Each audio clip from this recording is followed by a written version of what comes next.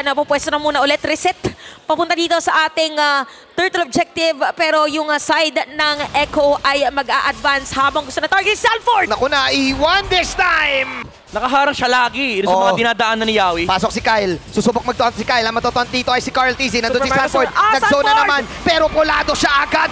Talagang masakit ang true damage. Sino makakakuha dito? Walang iba kundi si Super Marco makakuha ng Lord. Si Carl Tizzy kumagat. Sino kaagatin dito? Pero yung mga kasama niya ay ma-out na lang. Nakakain siya. Pero siya ni Lamon. This time, pre- 17k on this Lord. Pasok si Owen Gwen! dito. Sino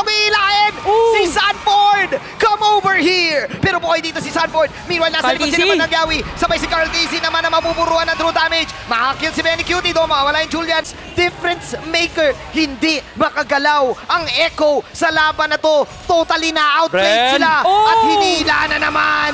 Ogwen with the latigo. Subok na lang ngayon si Sanford. Laban lang Sanford ngayon. Vengeance para kay Sanford pero kaya niya bang mabuhay. Nandito pa rin si Benny Cutie. Pero free hit lang talaga si Super Marco. Out si Super Marco.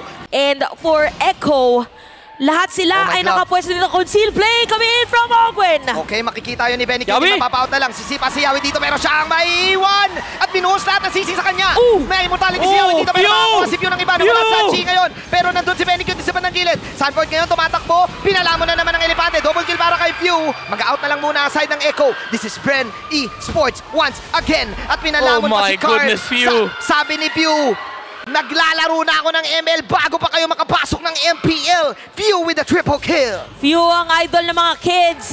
Pinaki pinakikitaan ngayon ang At M4 tapos sa ata. Champions. Tapos sa ata to. Palag-palag na lang Kumagat ngayon. pa. Ready Sports. Pulado si Yawi dito and wipe out. Ubus. Pati pan. Tubos. At sinong number one? Sinong number one sa simula ng Leg 2? Walang iba kundi Bren E Sports.